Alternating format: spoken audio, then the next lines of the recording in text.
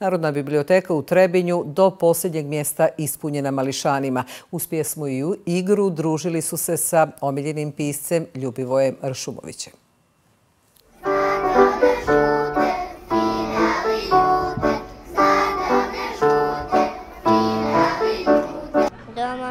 se brani je potom i čašćem i znanjem. Domovina se brani životom i lepi vaspitanjem.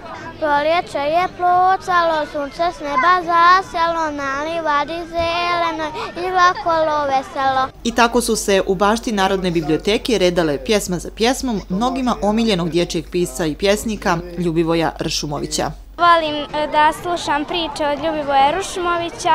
On je jedan od omiljenih e, pisaca i pjesnika i mnogo volim da ga slušam kako priča te njegove priče. Dovoljno je reći Ljubivoje Ršumović i po zainteresovanosti možete da vidite kakva je situacija večeras u biblioteci.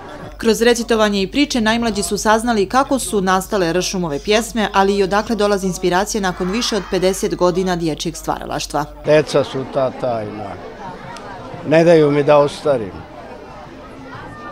Tako da sve ono čini mi se najlepše što sam napisao, posvetio sam mladim ljudima. E, za uzvrat oni mi daruju naravno energiju, svoje osmehe, i naravno uspeh, ako to možemo nazvati uspehom. Ljubivoj Ršumović na dječjoj književnoj sceni traje više od pola vijeka. Napisao je više od stotinu knjiga, a njegova dijela dio su školske lektire već decenijama.